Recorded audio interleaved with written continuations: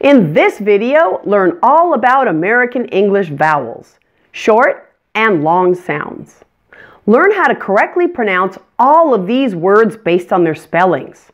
Bat, bait, bet, beat, bit, bite, bought, boat, butt, and butte. And yes, all of those are pronounced differently in English. So stay tuned for an overview of the American English vowel system in this video lesson.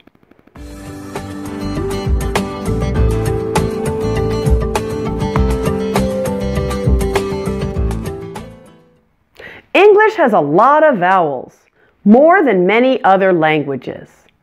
And the English vowel system can be somewhat confusing because spelling doesn't always correspond exactly to pronunciation. But contrary to what you may believe, spelling is helpful in allowing you to guess how to say the majority of words. So there are a few different ways we might categorize vowels. In this video, I'm going to talk about the vowel categories used in phonics. Phonics is the system we generally use to teach native English speakers to read and write. It's also useful to help non-native speakers determine English pronunciation based on spelling. I'm curious, can you let me know in the comments section if you were taught English pronunciation using phonics when you started learning English? Please type yes or no and the name of your country in the comments section below. Now, phonics classifies vowels as long vowels, short vowels, and other vowels. I'll give you all the details of short and long vowels in this video.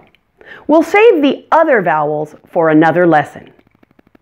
So each of the English vowels has what we call a short sound and a long sound. So the letter A has two sounds, A and A. E has two sounds, E and E. I has two, I and I. O has two, O and A. U has two, U and A. So first, let's talk about how you can use spelling to predict vowel pronunciation in most cases. There's an easy way to remember which vowels are long and which are short based on their spelling.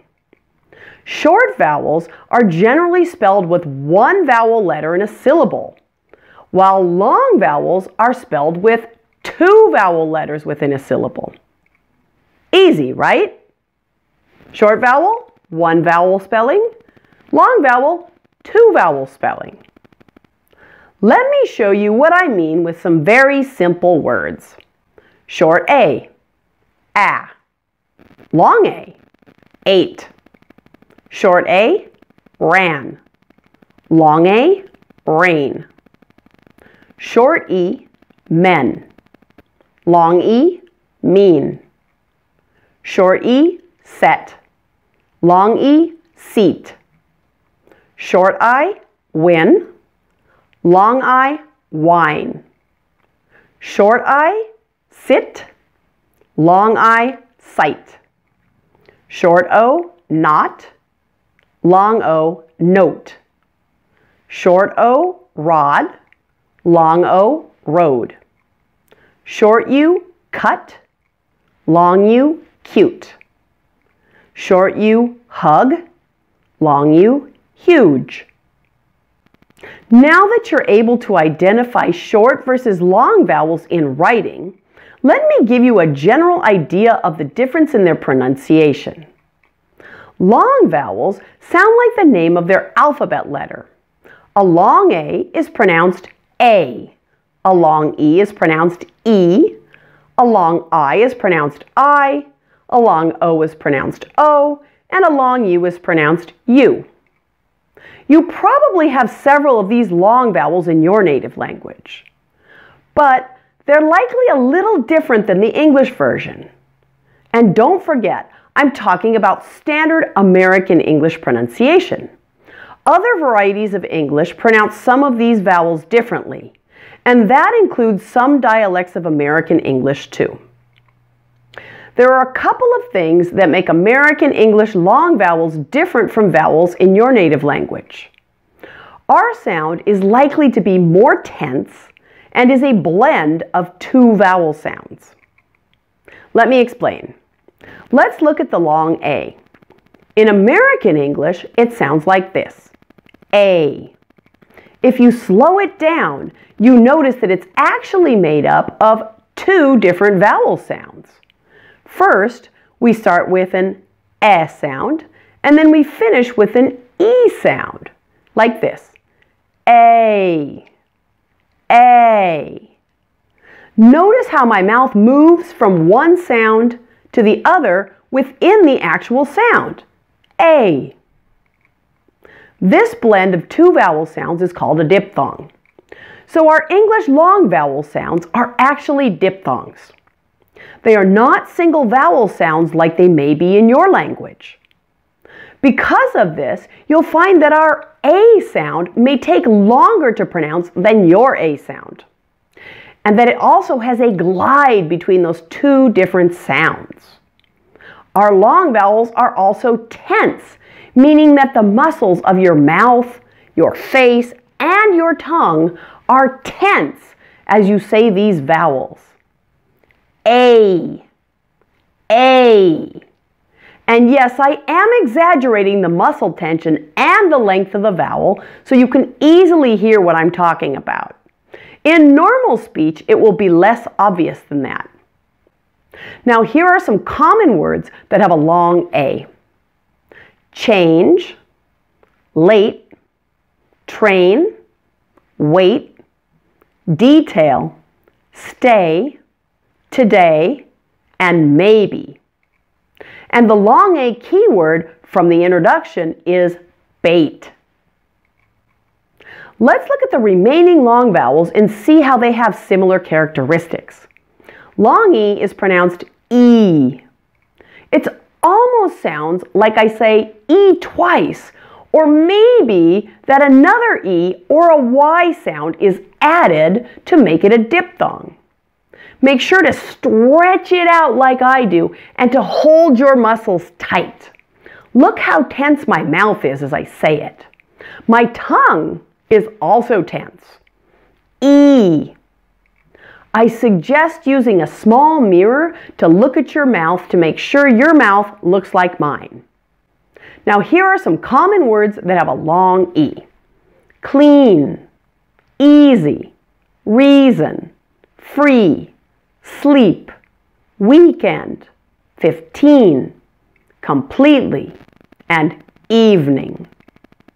And the long E keyword from the introduction is beat. Now the long I. This is a blend of the ah and e sounds. So this one is a true official diphthong, or a blend of two vowel sounds. I. Like all vowels, it's tense. I. Feel that tension in your face, in your mouth, and even in your tongue. Now here are some common words with the long I. Drive, mile, price, decide, pie, and dried. The long E keyword is bite.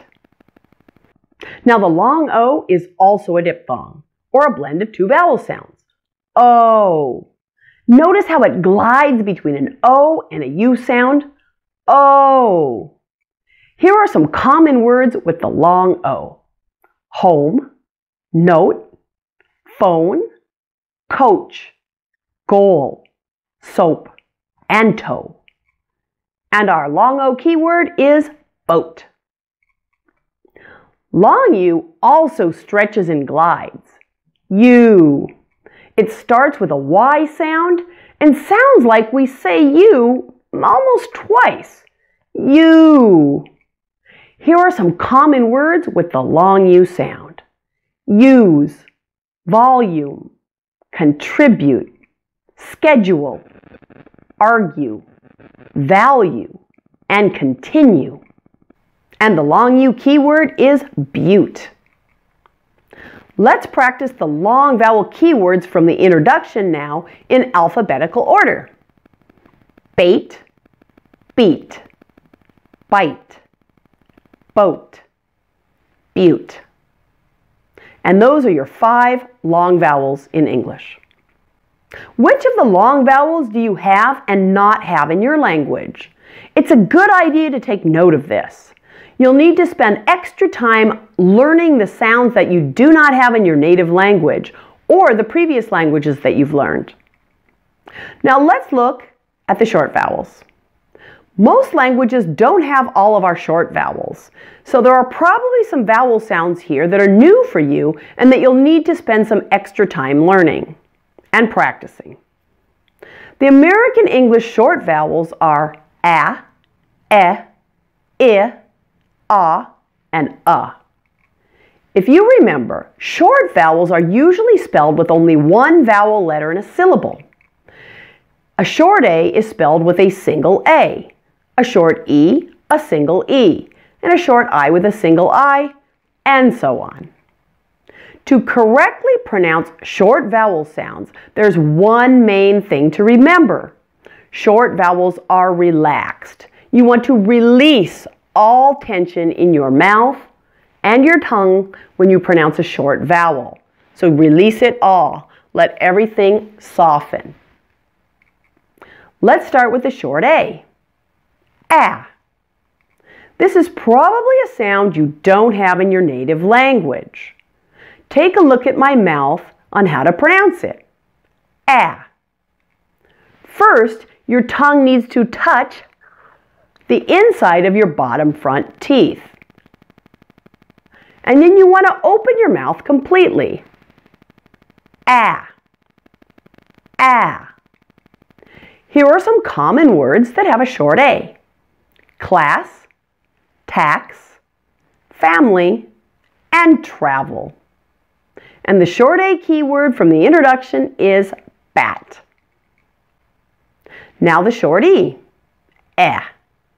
Like the short A, the short E is a front vowel. So again, place your tongue on your bottom front teeth, right down here. Eh, eh. For the eh, your mouth is a little bit more closed than it was for the short A sound. Let's compare the two sounds. Short A first, and then short E. Ah, eh, ah, eh. Notice for the short E, my jaw drops less than it does for the short A. Eh, ah. Now let's try it in a couple of words. Man, men. Remember that all short vowels are relaxed sounds. So again, make sure to relax all the muscles of your face, your mouth, and your tongue when you pronounce your relaxed short vowels. A, eh. Man, men. Here are some common words that have a short E. Tell, help, extra, enjoy, and special. And the short E keyword is bet. Now the short I, I. Also a front vowel, so put your tongue on your bottom front teeth and don't forget to relax everything. Your mouth is just a little bit open for this vowel sound. I, I. You'll notice it's much less open than it was for the a and ah a sounds. Let's compare the short I with the short E and the short A in that order. I, e, a. I, e, a.